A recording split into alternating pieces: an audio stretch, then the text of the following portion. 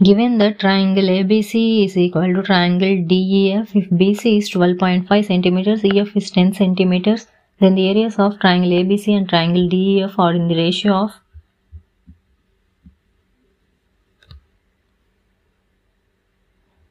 given similarity rule is given. Let's draw triangles ABC and triangle DEF. These are similar triangles according to the question.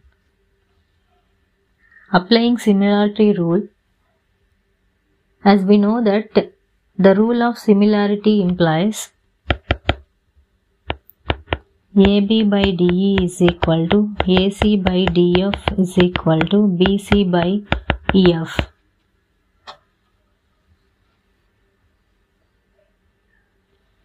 Now, area of triangle ABC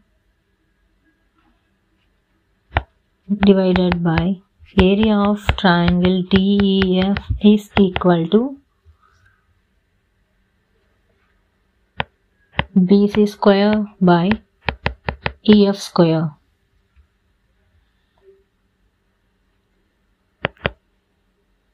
which is equal to 12.5 whole square divided by 10 square.